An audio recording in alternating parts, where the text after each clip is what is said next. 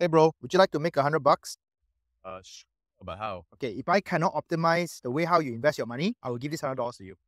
Uh, sure or not? Is it a scam? Okay, you hold this money first. Okay, let me show you who I am. Oh, you're Dato. Wow, you've made people hundreds of millions. ah. Okay, okay, can, can. So let me ask you a couple of questions first, all right? How young are you? 35? Thank you. Do you work right now? Yes, I have a job You have a job? in marketing. Marketing. Can I ask roughly what's your figure of income?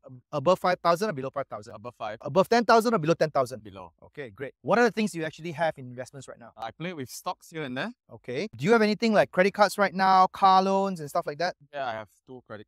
Are you in that? No, Okay, cool. No car loans? no. Okay. With 5,000 to 10,000, you can get two properties. Both of them worth about 300,000 to 400,000 only. Do not go more than $500,000. Get a good rental coming in of 6% because that gives you about 1,500 to 2,000 ringgit coming in.